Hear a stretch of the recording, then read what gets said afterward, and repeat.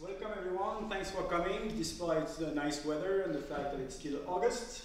Um, it's my pleasure today to introduce Alessandro Bozzon, um, who is a prof at TU Delft. He got his PhD from uh, Politecnico or Politecnico di Milano, right, in Italy. Uh, Alessandro is someone we meet all the time at the World Wide Web conference and related conferences. And finally, he decided you know, to drop by Fribourg to, uh, to pay us a visit. So thanks a lot for dropping by, Alessandro. And his talk today will be towards diversity-aware social data management. Thank you, Philippe. And thank, thank you for inviting me here. It's a pleasure, and thank you all for being here today. Um, so uh, today's talk is organized more or less like an overview of the research activities that we do in Delft, hmm, in, my, in my group. Uh, I have a specific angle, so I like to study what I call, what I call social data, mm, that's why. Uh, and I have a specific way of doing this research. So I really like uh, personally, uh, also because of my background, I'm also an engineer, uh, to, to you know, play out, to do experimental work, to, to do things on the field, mm, outside of the lab.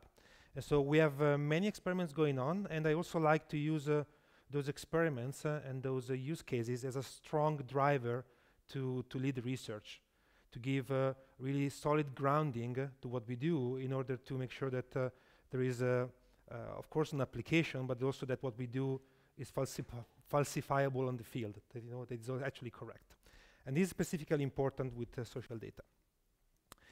Now, so that's that's where I am. I'm assistant professor in Delft. Uh, I'm also have a strange faculty fellow position in, uh, in IBM Benelux, so I collaborate with them in a series of projects. And I also am a, a, um, an investigator in uh, what is called, it's a mouthful, Amsterdam Advanced Metropolitan Solution Institute. It's a new institute that we set up uh, uh with MIT and other universities in Amsterdam for urban studies. Um, that's more or less about me and where I publish. Um, the work I do, of course, I don't do alone. I have a, a really nice team of people that uh, supports me, PhDs, postdoc, uh, and programmers, a master student.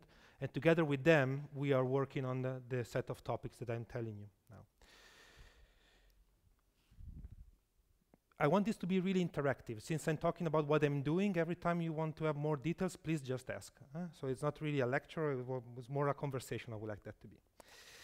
So what's the focus? It's big data. I'm not going to bore you with V's, uh, many V's or whatever. We know what, what they are. They are important. They are there to stay. They can create uh, societal, uh, economical value. So they are worthy to study. And that's what we do, right? Especially here, you guys at the Exascale lab.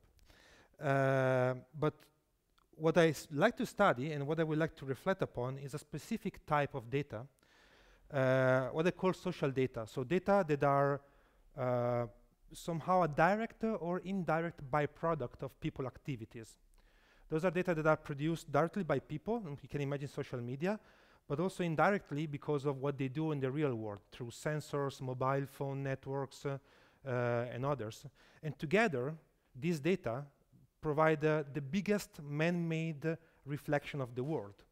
We use this data to study the world, how people behave, how processes going on in environments like cities, enterprises, also online, of course. Uh, but when we look at this data through these spectacles, to these lenses, we now need to take into account particular aspects that characterize them, that is the fact that they are produced by people. And because of that, they also bring uh, biases, uh, well, new challenges that actually arise from this human uh, uh, um, uh, nature of the data. So these data are nuanced by culture, by context, technology penetration.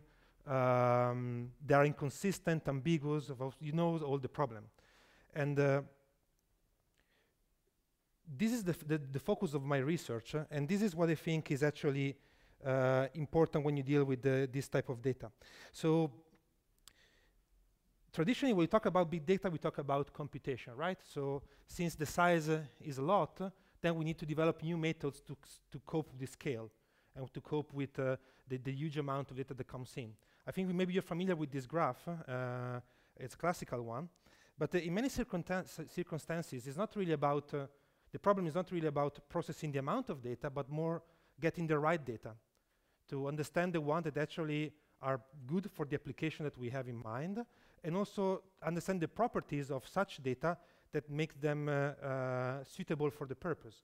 So many times blind adoption of big data or data-driven decisions are just wrong because they don't take into account why and how the data has been produced. So this is why there combined with the fact that we are observing arrays of many fields that somehow acknowledge the importance of the human component uh, into data creation, processing, and sense making, I believe that uh, the, the, the, the, evolution that they're looking for in order to really make a, a knowledgeable and actionable use of big data is to combine those two powerful computational units. So the machine one and the, and the human one into what I call hybrid computation. So the two entities together. Now, it's not only a computational thing, it's actually a little bit uh, more. So when we handle, in my opinion is that when we handle social data, uh, this particular type of data asks for fundamentally different scientific approaches. So as a computational power is not the main issue, uh, the synergy that exists between technology and humans somehow asks us as scientists and the engineers to combine our efforts to develop new fundamental uh, but also empirical advances to understand the utility of the technology. Really need to get to the bottom of it.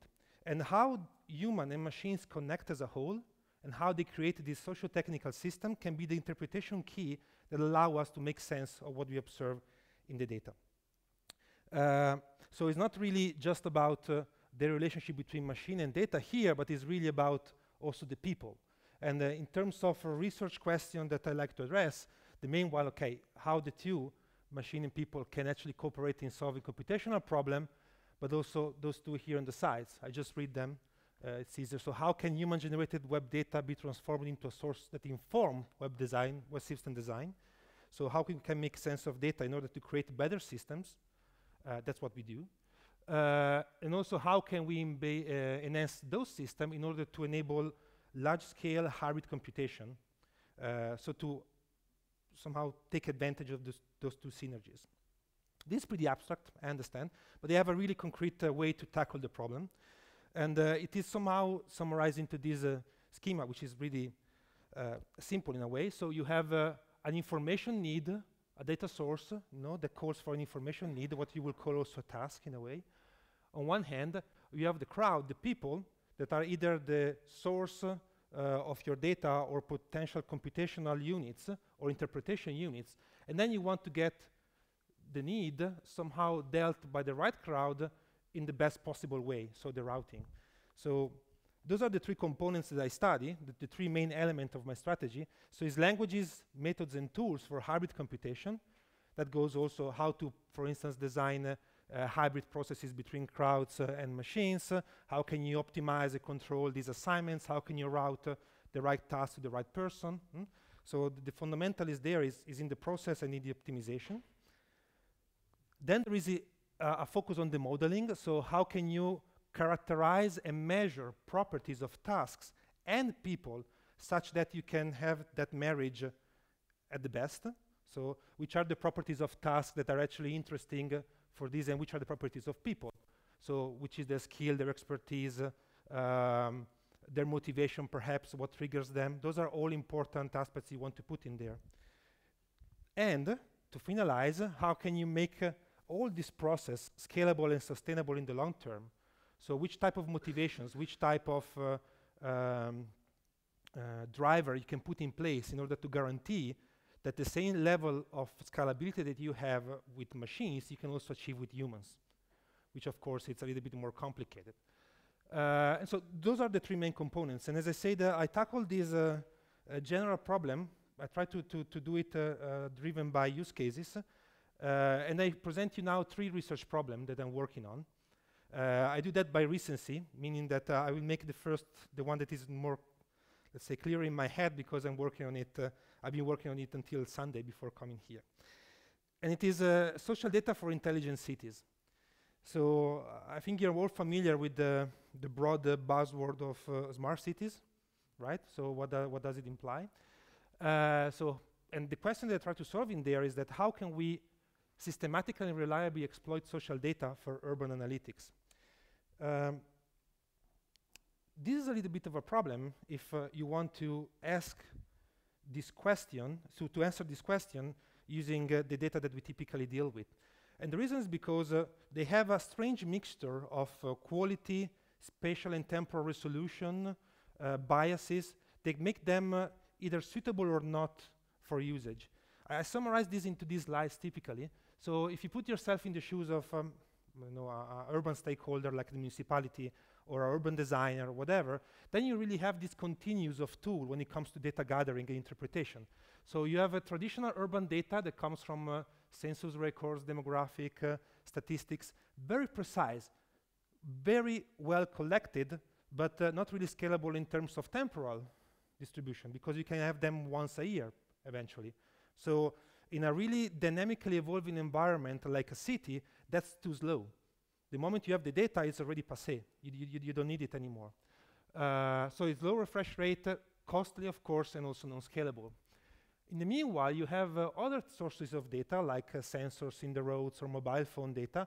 Those are really, uh, they have a high spatial and temporal density sometimes. Mm? they have no semantics at all, because what you measure are car passing by or people making phone calls from A to B anonymized most of the time. Mm? So there are things that you can explain. Eventually, you did experiments with that. But again, they're mostly proprietary, so either you pay a lot of money for them or you don't have them. Uh, sometimes they're even very expensive to deploy at city scale.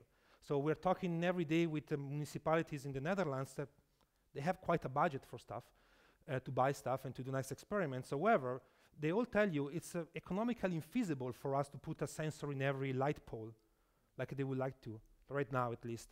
So there is no chance in the next five years at least we're going to have this sort of computation, well, sensing capabilities on the whole city. It's just too expensive.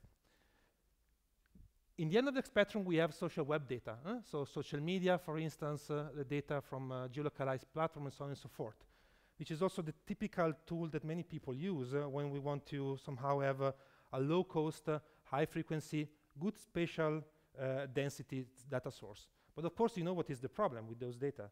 They are noisy, they have strong biases. The moment you start to try to interpret a city phenomenon through social media like Twitter, for instance, uh, and you really dig into that, you start to understand what you observe is not really the population of the city, it's a segment. In Twitter, you're talking about a 40 years old male tweeting from home, for instance. There are many categories of the population are not represented. The same is for Instagram. They're just typically teenage girl. So if you want to study the city through that data, you need to understand that bias and eventually compensate for that. And of course, you see why the human component is important. Uh, you need to develop methods in order, for instance, to understand the demographic of people tweeting in, uh, in, uh, in Twitter or posting on Instagram. So the first thing that we did, uh, first of all, was to enable ourselves. Of course, there is a good uh, state of the art in terms of social media analysis. We didn't want to reinvent the wheel, but we wanted to have a tool, an, an infrastructure that allowed us to uh, provide this type of insights in real time and to configure it uh, in such a way that according to the need that you had uh, at hand, you could use them. So one example I will tell you in one minute is for crowd management, for instance, uh, but can also be for tourist monitoring, tourism monitoring, uh, municipality that want to understand exactly the dynamic of tourists in the city, and in a place like Amsterdam, for instance, is really an issue. So they have this nice concept of uh, city pressure points.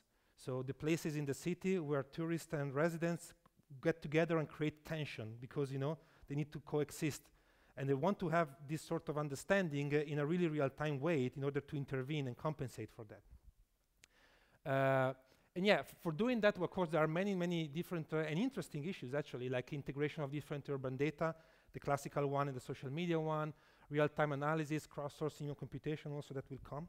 So the experiment that we were doing, uh, and this is also an invitation for you for collaboration, ended on, uh, on Sunday. So we had uh, this, uh, I think is the largest, largest public uh, sailing event in the world. It was hosted in the uh, harbor of Amsterdam.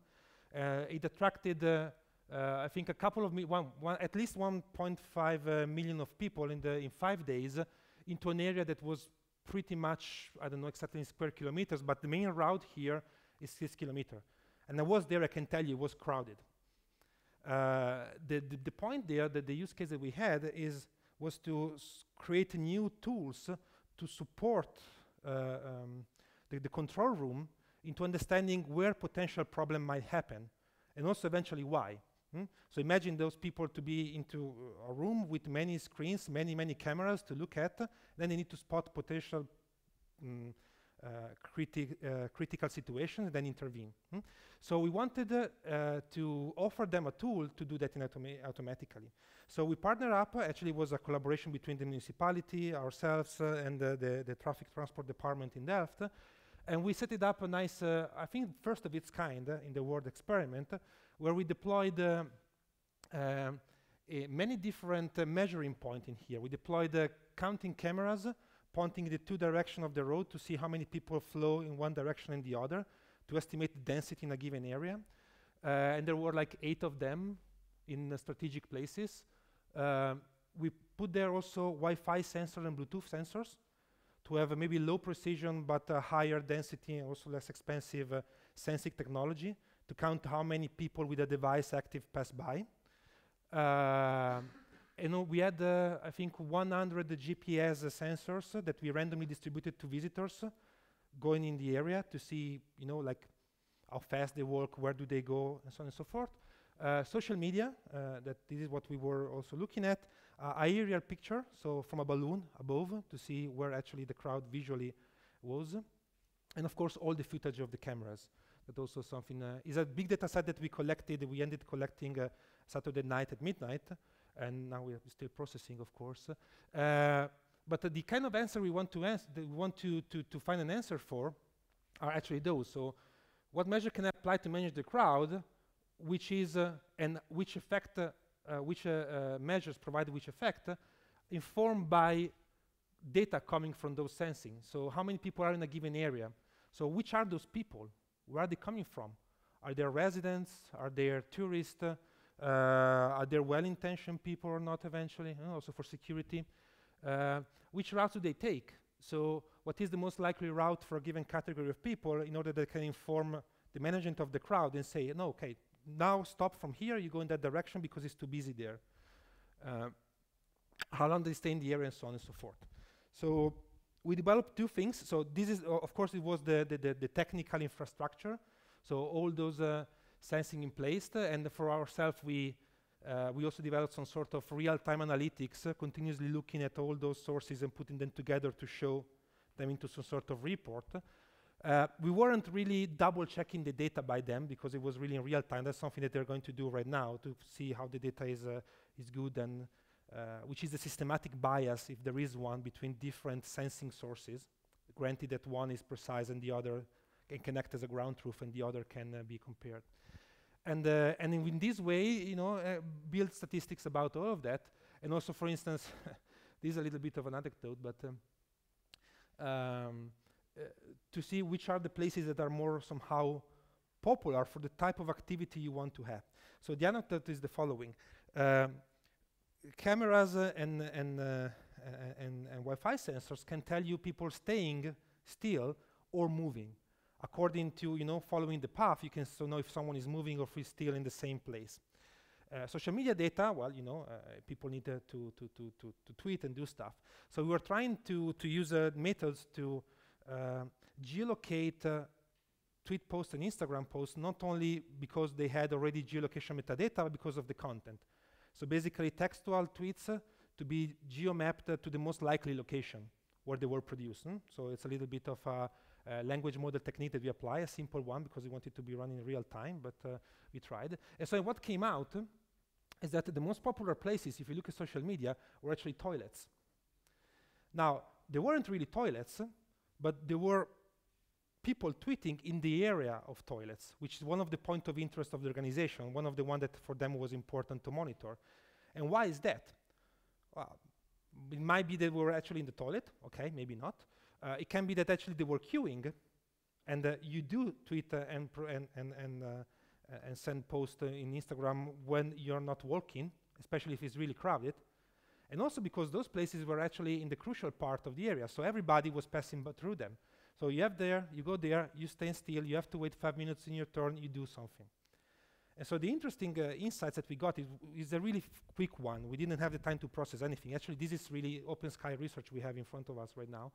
Uh, we learned that, of course, uh, a little bit intuitively, maybe social media data are more interesting to characterize people standing still than people moving. And so the complementarity of the two, the, the, the, movement data and the social media data can actually tell you a lot. Like, okay, I'm here, I want to go there.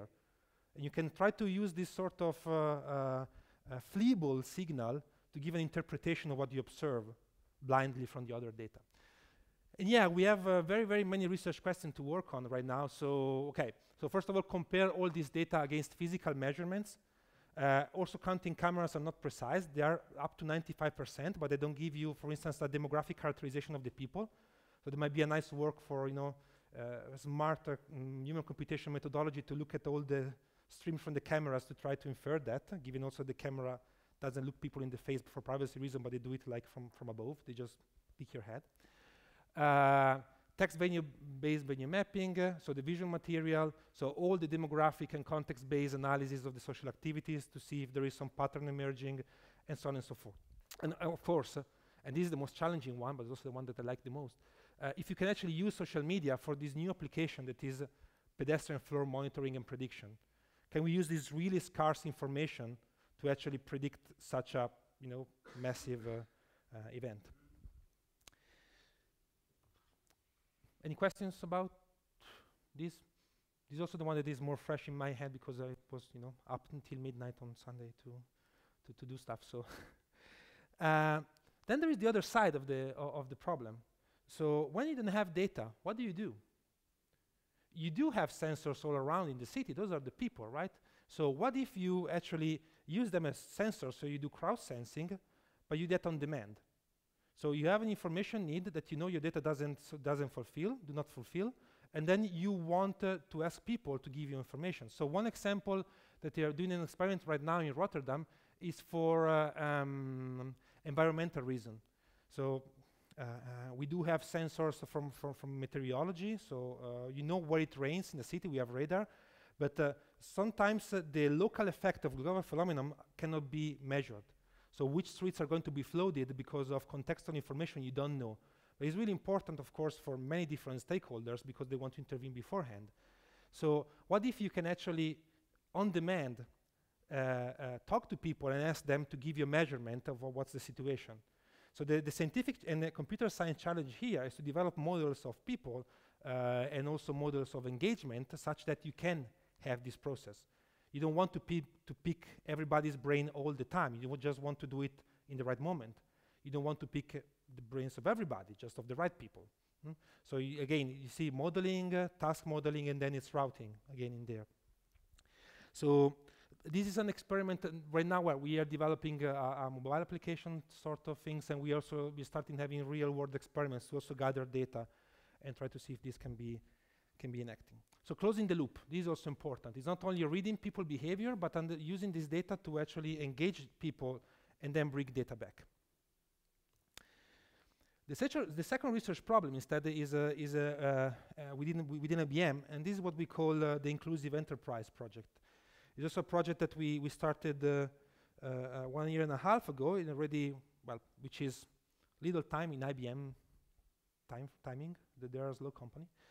Um, but we already have really good results. And the idea is really simple. Um, people are, are unhappy at work. Hmm? So there are many statistics that say that people are disengaged with their workplace. Uh, they don't like where they're working. And in uh, mm, companies uh, with a high technology profile, it's even more difficult to find people to work for you. So you want to retain them. So how can you do that? Um, I just, well, while I was in vacation uh, a few weeks ago. So I was reading this new book uh, uh, from Laszlo Bock, just to confirm the, intuition we had, but he's the, the, the HR manager in Google, so he's the guy in charge of people operations, as they call them in Google. And he was explaining more or less how they do HR in Google. And um, he, he, shows how uh, a, a really open uh, and transparent attitude combined with a nice uh, data generation interpretation um, activities can actually help a lot in pinpointing distress, pinpointing disengagement, and then take uh, compensatory actions. So he, of course he claims that uh, it's not really for, for, for, for monitoring people to fire them, it's just to pick problems because they before they occur and then do something about it. So they do it, uh, of course, with the data that they have, like uh, uh, uh, they do code analysis extensively to see if developers are actually developing and being up to the standard that they have. They, you have questionnaires that they systematically provide to people in order to understand whether they are happy or not, and so on and so forth. So, but the idea is to, as again, openness and data-driven. And uh, this inclusive enterprise project that we have, have in there, we were also mentioning it to the, in the Wall Street Journal a couple, one month ago, which is, was a little bit weird. Uh, so the idea is, can we use social data from the enterprise to understand and influence well-being, motivation, and inclusion in the workforce? Inclusion here is the key word. It's actually taking everybody into account and be valued. It's not uh, just uh, having a subset of uh, you know more influential, more uh, visible population. It's just really everybody. And uh, one of the reactions that I have when I, I talk about this is the classical, you know, Big Brother privacy type of thing. That is okay, yeah, but you cannot monitor people. Now, one of the key factors in here, as I say, is transparency and openness. And the principle under which we operate is the do not harm principle. So it's really opt-in by default. Uh, we are developing right now a pretty sophisticated system in order to make sure that uh, uh, the, the, the, provenance and the usage of the data is uh, explicitly authorized down to the bottom by the employee, so that the employee always know who is using the data and they need to authorize that, uh, and so on and so forth. So uh, something like that wouldn't work if employees weren't prone to actually contribute. And so we, we, we really pushing that button to make sure that everybody understands it is not for controlling them, but for making their life easy. So we're developing a system here. Uh, again, it's a combination between physical sensing and, and, uh, and uh, well, other type of sensing coming from enterprise social media, for instance, or from uh, other sort of communication activities uh, undergoing in the, in the company. We also want to have uh, sensors in place. we want to try to experiment um, with techniques of enterprise crowdsourcing to engage people in, into eliciting what they know about the company and uh, what they know about the workplace such that some information actually can be taken into account as early as possible. I have a slide about that uh, later. And, uh, and it's becoming really, in really interesting line of research. First of all, because IBM is, well, I think one of the biggest company in the world. They have uh, 400,000 employees, so they have quite some data about uh, their workforce. Uh, and it's also one of the most diverse in terms of uh, uh, um, age, uh, provenance of people. They really, they really have a diverse population. And so it was a really perfect case study for the type of research that we like to do. Uh, first uh, nice results that we had, it was a really simple one. That there was a master's thesis from a, from a student. We, we, we engaged with some of the employees in the company. I think there were 200 or so. And we asked them to provide us access to their enterprise social network data and their public social network data, so something like uh, LinkedIn. And the purpose was to see and to understand to which extent uh, those two are complementary. So is this companies in general, they don't know their employee. Huh? So the, the bigger the company, the less they know about the single employee. So how much of the information about the expertise, uh, the connections, the relationship that exists between employees known by the company, unknown actually, can be taken from the outside. And so we made a nice study in here, and, uh, and we discovered several interesting uh, properties of this kind of integration of data. So you see, for instance, that uh, the different nature of the social media brings different uh, um, manifestation of the activity and the expertise of the employee. So internally, of course, they want to be found because of uh, uh, for whom they're working for and the type of technical skill they have. But on the outside, they want, of course, to be hired. And so they want to, to, to have networks and connections. And the amount of latent relationships internal and external to the company that we found was striking. Actually, this is somehow our, our key to the work because HR was so happy to, to, to, to see this kind of, uh, uh, of outcome that, uh, well, they basically gave us the, the goal for, for doing other activities. Another one, another experiment that we, we just did uh, it was just accepted as CSCW for, for next year, is an experiment in enterprise gamification. So I, I, ask you the big favor and forget a little bit about the buzzword gamification. So it's not really uh, just about, uh, in, you know, uh, um, applying game mechanics in not gaming context, but it's more about uh, understanding uh, which type of incentives best suit a given type of business need. So what we tested there were two business needs, something that was re were really perceived as important by the company.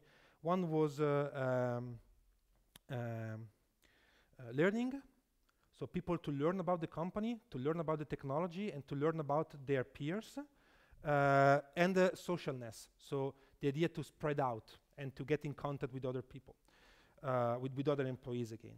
And then what we were testing, uh, and the plan is, the long-term plan is to test different type of incentives from, uh, uh, you know, internal motivation, like a mission, to, to empowerment, uh, to socialness in general, ownership, uh, achievement, um, uh, randomness, so serendipity. There are many different type of in, incentives that can work. And what we did here was to try to test if in a specific environment with the um, um, uh, an, uh, an, application that we designed for the purpose and deployed for the purpose, uh, different type of ownership and achievement incentives like leaderboard and, and, and, badges and, and score system can actually have an effect in how people, how much people want to learn and how much they want to, to connect. And the differences that we saw there were actually pretty striking. So if you give an excuse for people, for instance, to connect with someone else, into the enterprise social network or into the external one, then, so for instance, you, you allow them to uh, have a different type of games, then uh, this new game is also engaging for them because they can, for instance, that was a Q&A game. So do you know that uh, your colleague, uh, so which is the current position of your colleague? Manager responsible for, uh? so they learn about the, the, the, company, they learn about the environment, and the incentive was good in order to enable them. And since uh, the thing was funny and it was also useful, that's also very important, they played a lot. So in the paper we also have a nice graph, I don't know why I didn't put it here. So if we compare the retention curve uh, of the game that we had here with the ones of traditional uh, uh game with a purpose like the ESP game uh, or, or, or, others, is actually pre pretty better. So in those games people play a lot in the beginning and then they just drop out, while in this experiment those people played a lot and for longer on average. So the question that was, okay, can we use this in enterprise uh, environment? Yes. And now, well, of course, we want to move uh, to move forward. So what we want to do, so what we have right now, uh, we are going to, they kindly allow us to deploy a sort of a sensing uh, uh, infrastructure into one floor of their building. So there will be, I think, 40 or 50 employees in there. And we want to combine, again, physical sensing with social sensing and enterprise crowdsourcing in order again to get more information about the employees, more information about the environment, and ultimately finding new methods to actually make them feel better about uh, the workplace. A really trivial example. So imagine that somehow we are able to understand uh, the, the mood uh, or, or, the moment of a person, and when, when he, he or she enters the building, we can suggest the best place to go right? So today you're not really in a good mood, uh, you should go in a, a lone office and we reserve it for you. Mm, so sort of a personal assistant in order to make you feel better at work.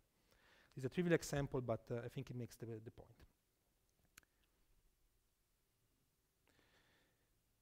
Okay, um, the last one is, uh, okay, so what they call, sorry, one back. Okay, so what we call crowd knowledge generation and acceleration. So again, let me give an example what I have in what, what I mean with that. So imagine that you have, uh, you want to rebuild Wikipedia from scratch, uh, better and faster. How will you do that? So what if you want to fill in a knowledge base somehow and you want to just uh, make it uh, happen, but uh, in a on-demand, in a proactive way. So this is the type of research we do there. And uh, to, to answer these questions, so how can we control and accelerate knowledge, creation, knowledge creation at scale? Uh, again, we were driven by, by two uh, use cases in the beginning, but of course we're going to work on more. So one was uh, for uh, cultural heritage content annotation.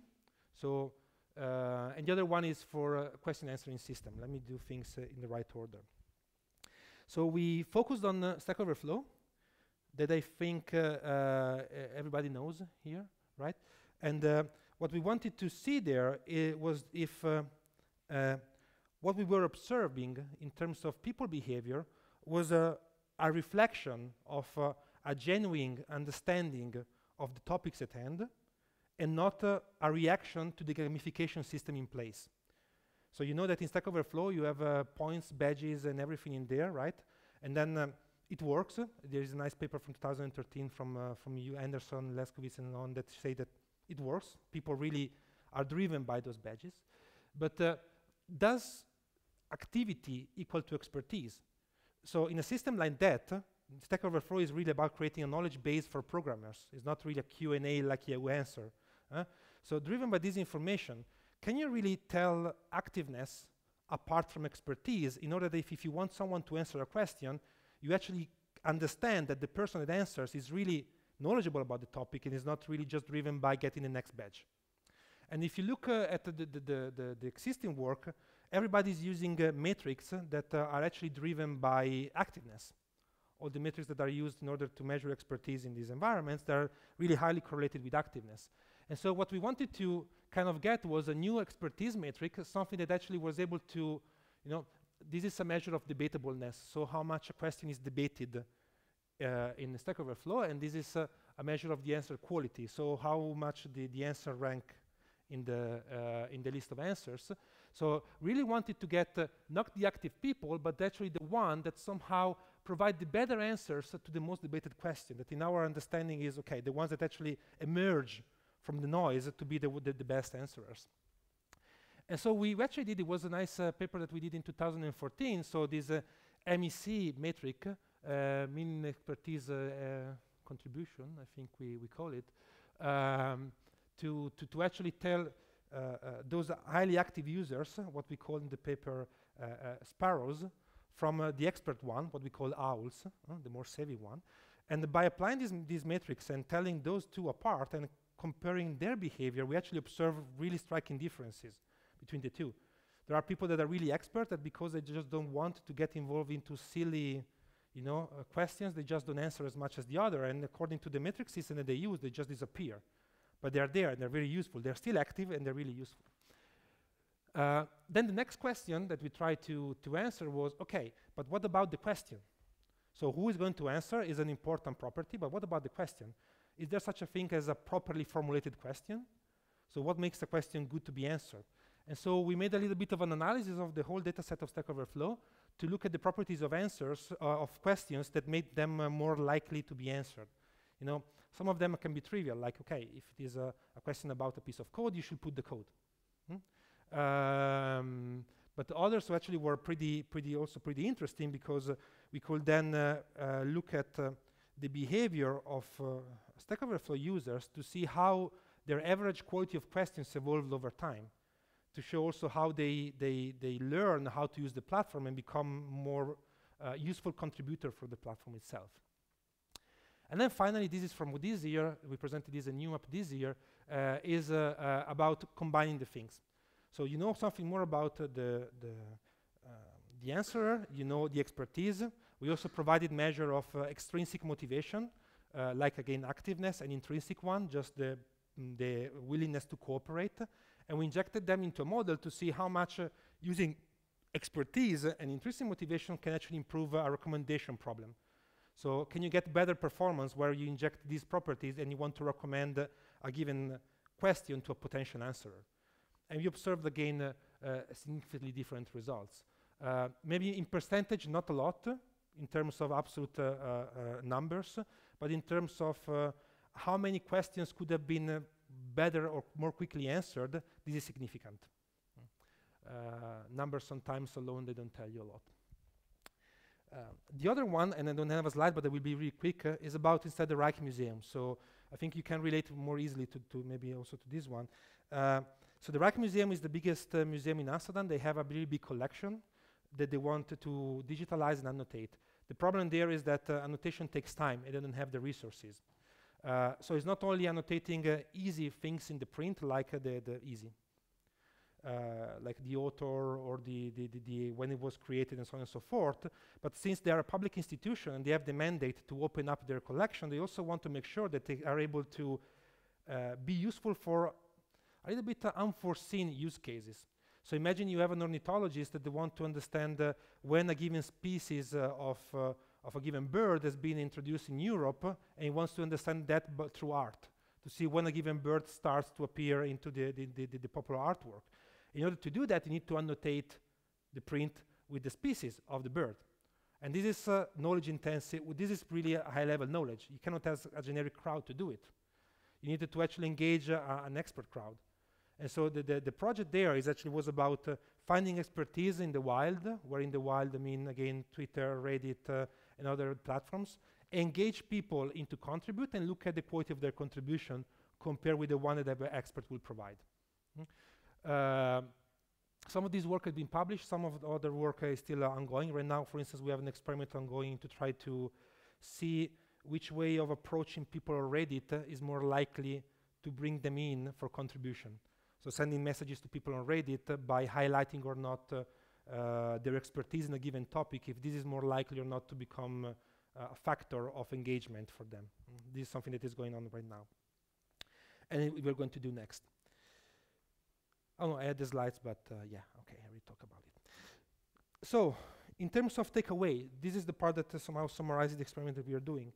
Uh, the the things that uh, somehow I, well, learned in these five years working on these problems, more or less, uh, are basically free. So when you want to deal with social data, regardless of the application, you really have to understand people. And now understanding might also bring you outside of your comfort zone. May actually bring you, you know, into social sciences in a way. You may actually bring you into the problem of developing tools so that are able to understand properties of people that are not self-evident from the data.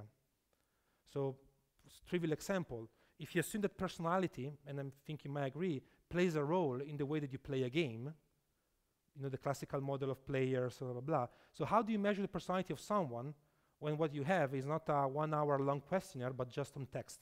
Of course, there are methods to infer the personality of someone using the five, uh, the big five method. Uh, but again, that's one example. There are many others. So how can you measure the attitude of someone for risk or not? How do you measure if someone is more or less uh, pleased by surprise or not? Uh, we are in the tool of building a computation system, right? So uh, the, the, the, bridge is between uh, the theories that exist and uh, our ability to create tools to apply those theory and eventually verify them with the type of data we can produce, or eventually complement where we don't have them. Uh, the second lesson that I learned is about the domain specificity. So it's really important in order to understand the data and the people that you partner up with uh, the application domain that you're working with. So it would be strange uh, to, to, to, to make experiments, you know, with ornithologists, uh, with, uh, uh, annotating birds, if you don't understand from ornithologists what is the most likely way for someone to uh, describe a given bird. it's strange to do studies on urban, urban environments if you don't partner up with architects or urban studies scientists. They give you the key in order to understand, and then it's our goal to provide and create the tools that actually allows this understanding, allows to make sense, and then again to create better systems. And then the third one is get out of the lab. So maybe this is my uh, engineering background uh, and you know little guy playing with Lego thing, but uh, it's really like it's really important to go outside and test and do things on the field. You need to get in touch with people. You need to get in touch with systems. You need to understand their properties. This is what allows you to again, get the better insights from the data that you're going to use afterwards in your application. And also from your tool, eh? also for your tool. Okay, uh, I think I can stop here for, for today. Uh, thank you very much.